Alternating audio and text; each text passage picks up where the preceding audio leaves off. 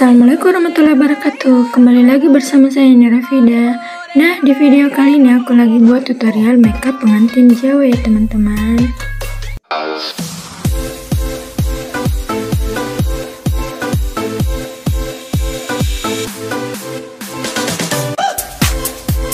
Oke, produk yang pertama yang saya gunakan di sini adalah primer dari Fit Me. Kasihkan primer ke seluruh wajah. Di sini saya menggunakan foundation dari Fit Me dengan uh, foundation La Maila. Jadi ini tuh di mix ya teman-teman. Perbandingannya itu satu banding satu, tapi bisa juga satu berbanding dua, tergantung dari kebutuhan teman-teman saja.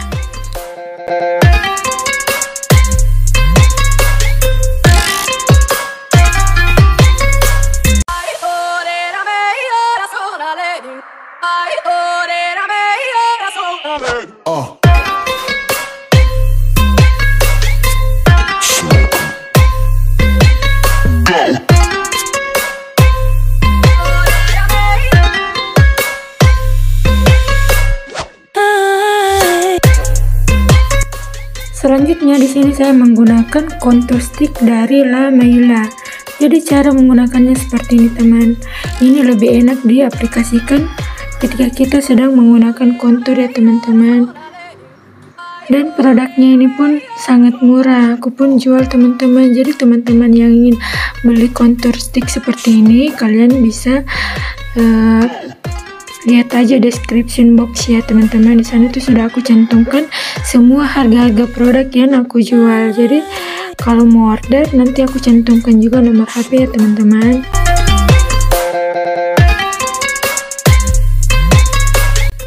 Next, di sini saya menggunakan blush cream dari OTWO.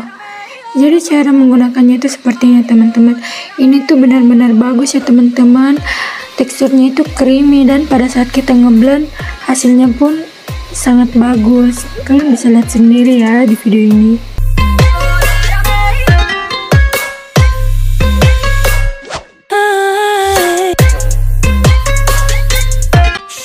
Berikutnya di sini saya menggunakan bedak tabur dari La Maila.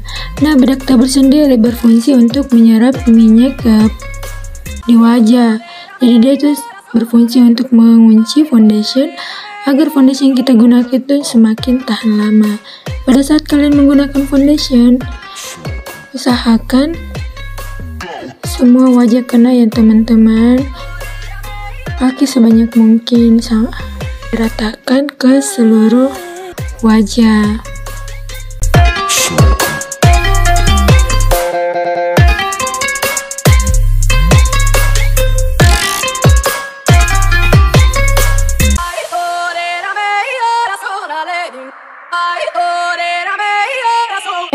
Sini saya menggunakan Sivana Colors. Jadi uh, eyeshadow yang saya pakai di sini yang berwarna orange ya. Yang pertama tuh kita gunakan warna orange.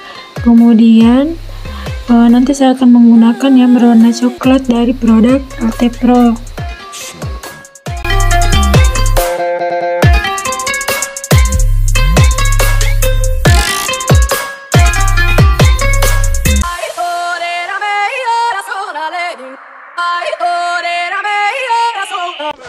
Produk yang saya gunakan di sini dari LT Pro ya teman-teman.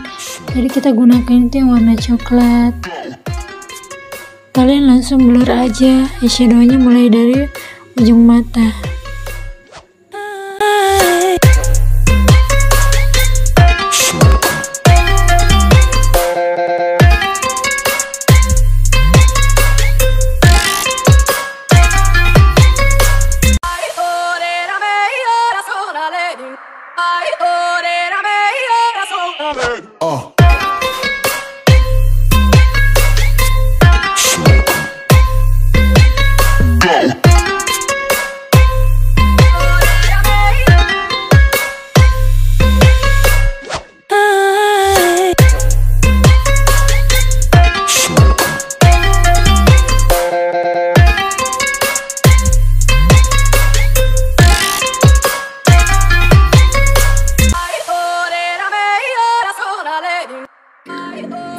Membuat kateris mata di sini saya menggunakan foundation dari Lamaila yang padat ya teman-teman.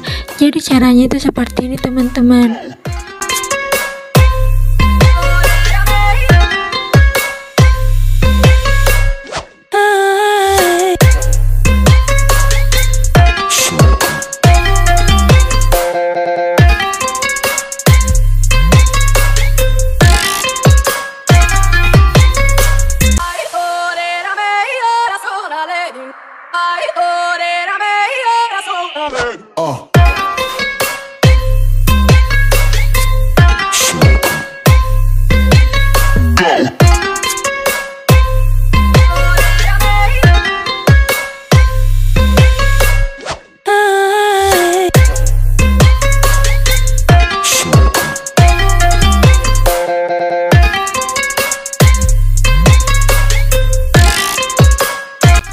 Lanjut, produk berikutnya adalah dari You.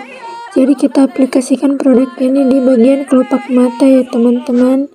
Jadi caranya itu seperti ini.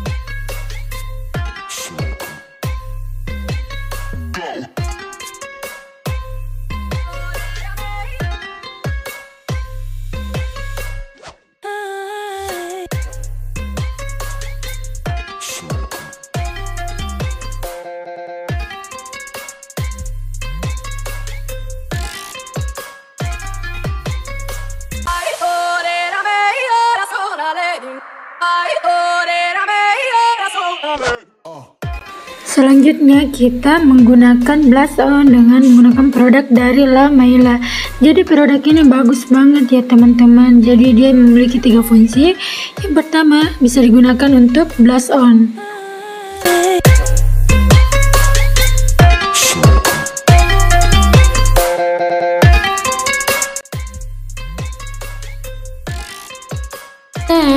Kita sekarang menggunakan eyeliner. Jadi eyeliner yang saya gunakan di sini dari produk La Maila. Ini tuh juga bagus ya teman-teman. Jadi cara menggunakan eyeliner seperti ini ya teman-teman. Kalian tinggal nonton aja video ini.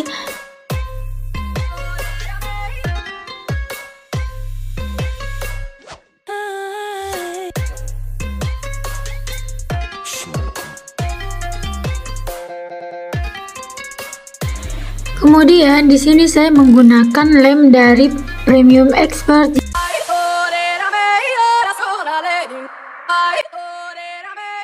Next, kembali kita menggunakan produk dari Lamaila. Jadi di sini saya gunakan adalah highlighter. Highlighternya itu diletakkan di bagian hidung, tulang hidung, dagu, dan di bagian tulang pipi ya teman-teman. Oke, kita lanjut di bagian mata. Di sini saya menggunakan bulu mata lusinan ya, teman-teman.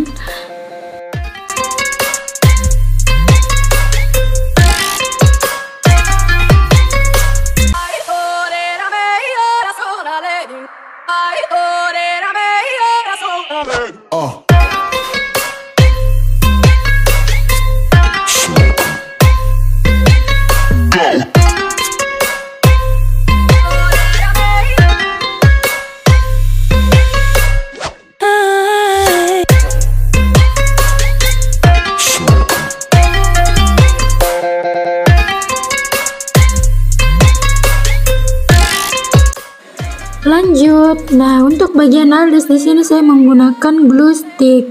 Jadi itu lem kertas ya teman-teman dan dia tuh bagus banget. Cara menggunakannya seperti ini ya teman-teman. Kalian tinggal nonton video ini. Nah, kita kembali menggunakan La Maila untuk menutupi bagian alis agar warna yang hitam tadi jadi agak sedikit memudar sehingga pada saat kita membuat alis alisnya jauh lebih bagus dan nggak terlalu mencolok.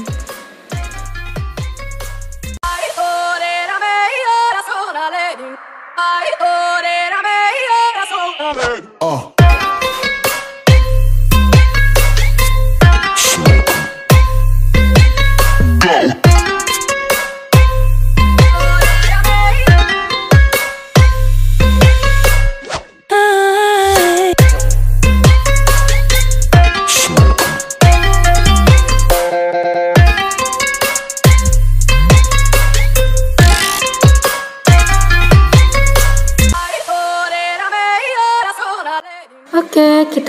Di sini saya menggunakan foundation padat dari La Maila. Dia itu berfungsi untuk sebagai korektor pada bagian alis agar bentuk alis si pengantin kita itu uh, bentuk alisnya lebih tegas ya, lebih rapi. Jadi cara menggunakannya itu seperti ini ya.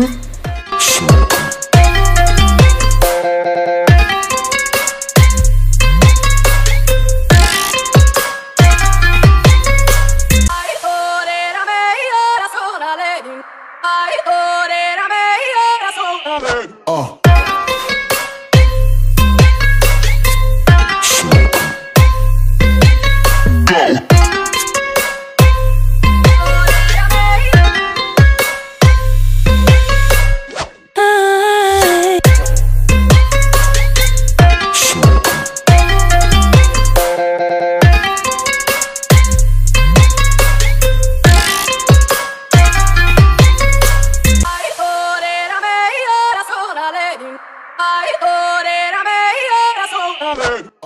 Untuk bagian list tip kalian bisa lihat saja video ini ya teman-teman. Saya itu uh, pertama kasih dasar dari produk Lamaila, kemudian aku menggunakan list tip dari Pink Flash. Jadi ini tuh 03 warnanya merah ya teman-teman.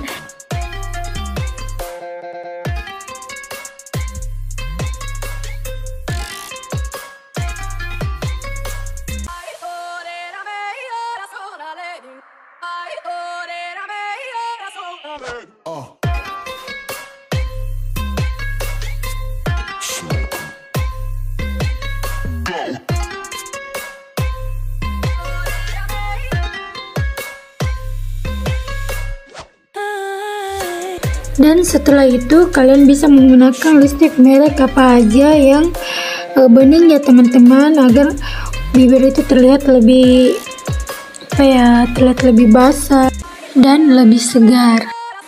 Nah, next di sini saya itu menggunakan pensil uh, dari Wardah ya. Jadi yang berwarna hitam. Fungsinya untuk apa? Yaitu untuk uh, memberikan efek di bagian sudut mata agar mata itu kesannya terlihat lebih tajam gitu ya teman-teman. Dan juga untuk mengisi di bagian kelopak mata di bagian dalam agar nggak kelihatan bolong.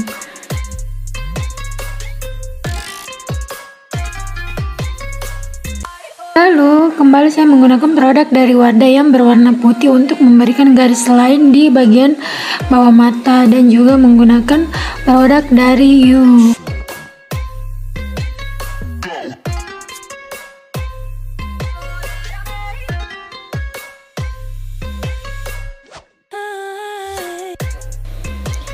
Sekian dulu ya teman-teman video kali ini. Semoga video ini bermanfaat.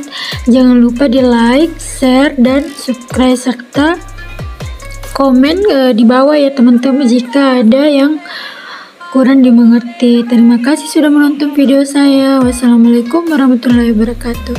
Thank you.